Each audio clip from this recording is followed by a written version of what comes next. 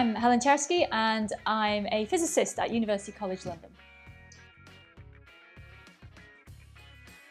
Um, my superhero is me diving into a sea of equations because I have great enthusiasm for all these things and I'm at sea when I, I study bubbles and the physics of bubbles in the ocean and how they help the ocean breathe. And I, this is what my job feels like, is that when I approach a new topic or a new part of my subject, there's all this science to dive into. But also I, I work at sea, I go to sea, I work from ships and it's a very physical thing. There's this idea that scientific knowledge now sort of come, it, it emerges, it just arrives.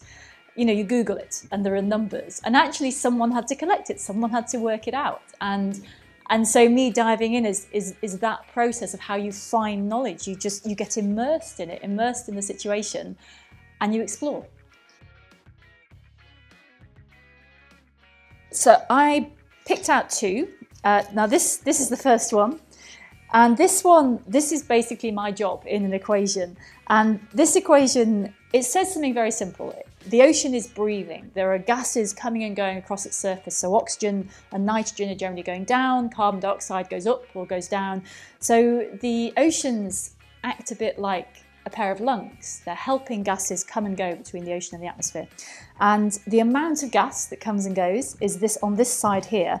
And then this is how we describe um, all the gas that comes and goes. And it depends on breaking waves and bubbles and how many storms there are and whether the swell at sea, all these processes that mess up the ocean surface and help gases come and go. So that's all in this bit actually, just in that one little letter there. It's all hidden away in, the, in one very innocent looking letter. Um, but this, if we want to understand how the ocean breathes, this equation is, is how to do it. How much carbon dioxide is going down into the ocean. That is contained within this equation. So this is an important one. And then this equation is um, one of most physicists' favourite equations. It's one of my favourite equations because it is very elegant. And this is uh, what a physicist would call the 2D wave equation. And what that means is if you have a surface like the surface of the ocean and you have waves travelling across it and they could travel that way or they could travel that way, this is the equation that encapsulates everything about how a wave travels. A wave must always be traveling. That's the nature, of it's moving energy. And this equation describes how the speed of the wave, which is down here, is related to how the shape of the wave changes in time and in space. So it's a very compact formulation, but it, it brings with it a very big idea, which is that energy moves in waves and all waves, all two-dimensional waves will follow this equation there's only one way of having a wave, and it's a thing that does this. And it might happen in one dimension, or two dimensions, or three dimensions, or, or even more if you're a, someone who deals in higher dimensions, but it's fundamentally the same thing, and, and this is what it is.